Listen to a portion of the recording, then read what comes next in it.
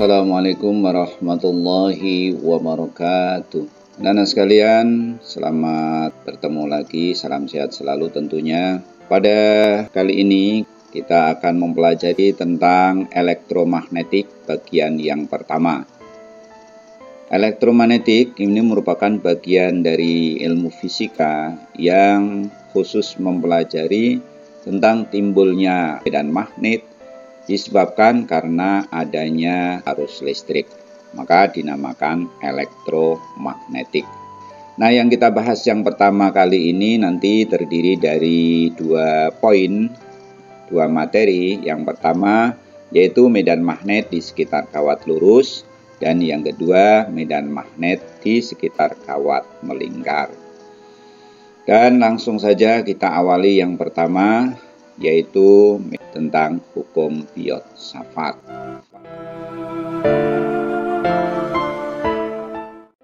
Ahli sudah melakukan penyelidikan bahwa setiap kawat apabila dialiri arus listrik, maka kawat tersebut akan menghasilkan medan magnet yang garis-garis gayanya berupa lingkaran-lingkaran yang berada di sekitar kawat tersebut. Untuk menunjukkan adanya medan magnet yang ditimbulkan oleh arus listrik, maka kita langsung menuju ke lab maya.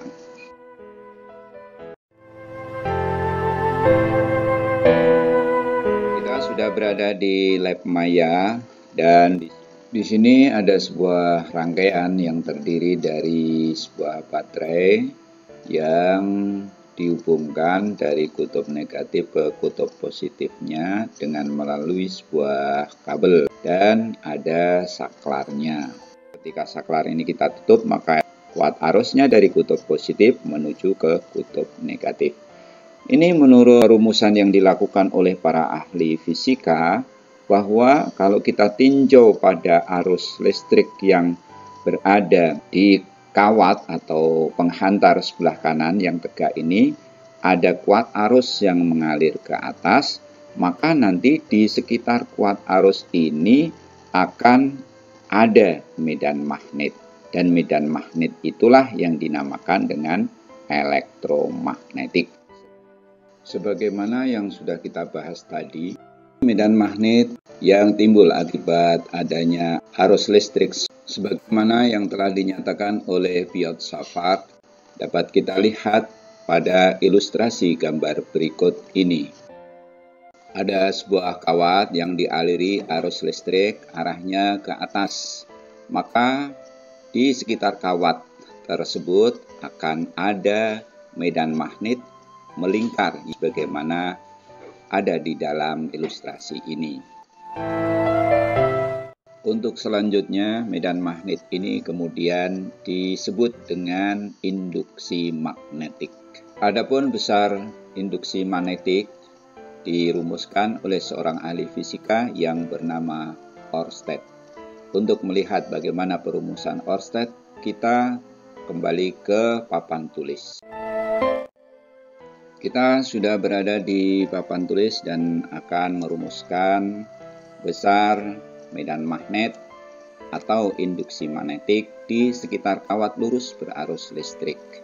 Kita lihat di sini, tadi kita memiliki sebuah penghantar lurus ke atas yang dialiri arus arahnya ke atas. Kemudian di sekitar kawat itu akan timbul induksi magnetik. Kemudian di sini kita asumsikan ada sebuah titik P, yang titik P ini berjarak A dari kawat.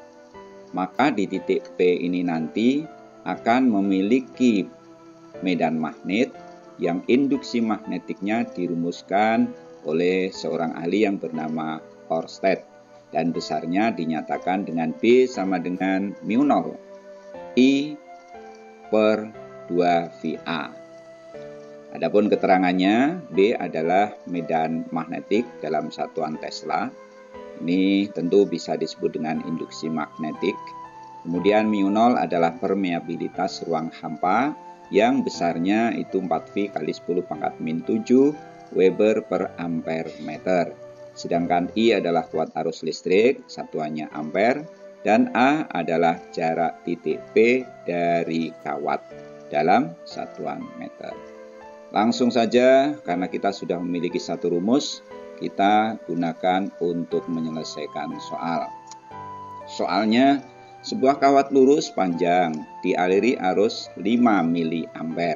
Ingat satuannya 5 mA. Berada di ruang hampa Tentukan besarnya induksi magnetik pada titik yang berada sejauh 10 cm di sebelah kanan kawat bila kawat vertikal.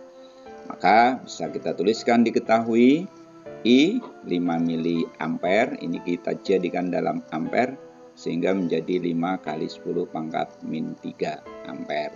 Sedangkan A 10 cm dan kita jadikan meter menjadi 0,1. Maka kalau ditanya berapa nilai B, kita bisa jawab dengan rumus yang sudah kita miliki, yaitu B sama dengan mu 0 I per 2 VA.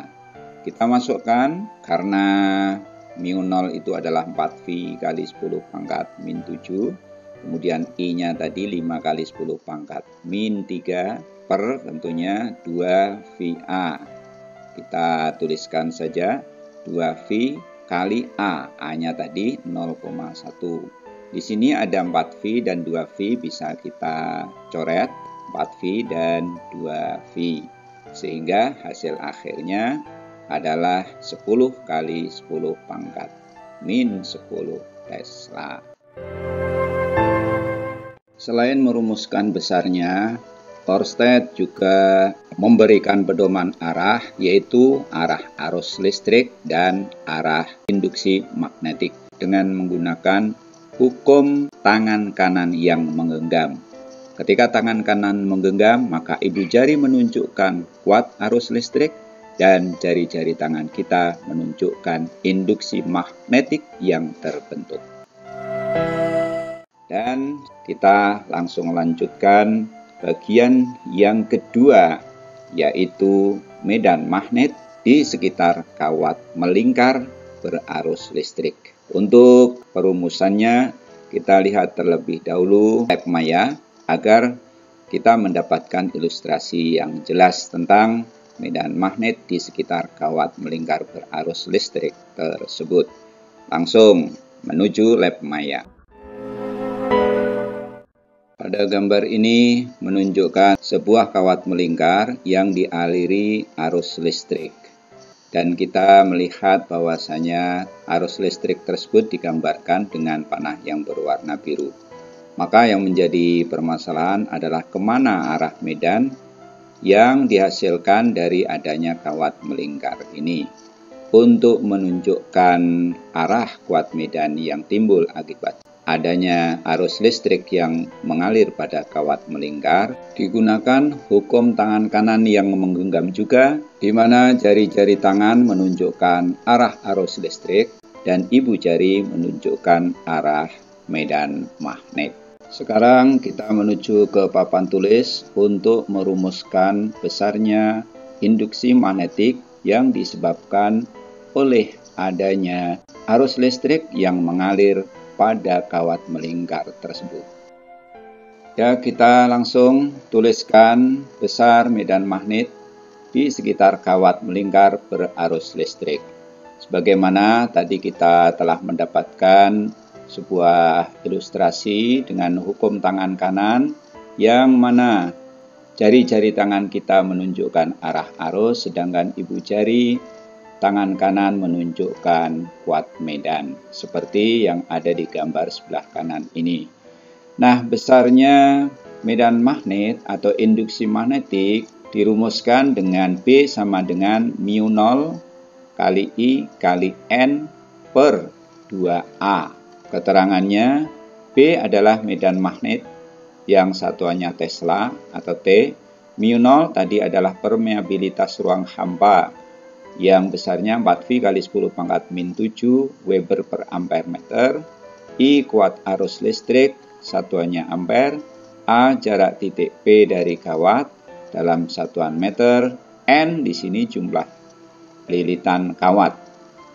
Dan langsung saja kita terapkan pada contoh soal. Sebuah kawat melingkar dialiri arus listrik sebesar 4 ampere.